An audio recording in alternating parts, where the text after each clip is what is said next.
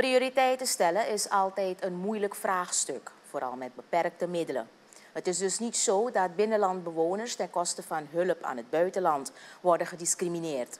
Zo stelde Buitenlandse Zaken International Business en Internationale Samenwerking, BIBES, vanmorgen op de regeringsraadsvergadering.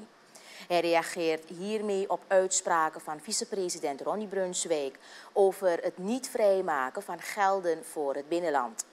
De vicepresident uitte recentelijk zijn misnoegens over het feit dat er geen geld wordt vrijgemaakt voor het binnenland. Echter wijzen missives het tegendeel.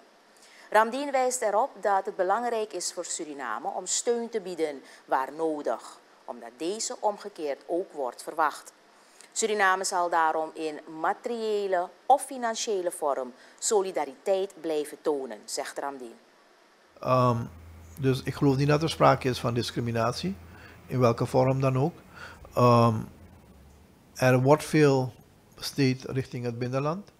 En ik weet dat de situatie niet makkelijk is. Dat weet ik ook. Die situatie is ook niet makkelijk voor velen in de kuststrook.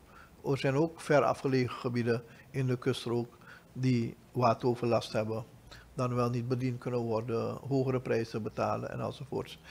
Um, maar sowieso, wanneer een, een, een concern wordt uitgesproken, dan moeten we dat serieus nemen. Ramdien zegt verder dat rekening houdend met de opkomende 21 stormen tot de periode van december het streven is om alle behoeften in de samenleving te bevredigen.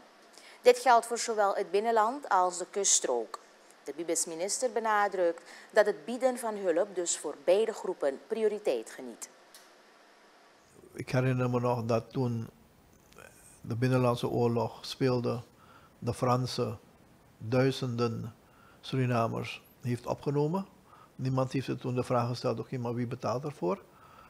En de Fransen hebben dat ook niet gezegd. Uh, zij hebben ook hun problemen gehad.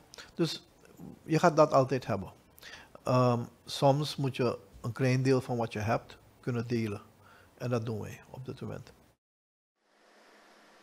Met de huidige orkaan Beryl is de CARICOM-meeting uitgesteld met drie of vier maanden.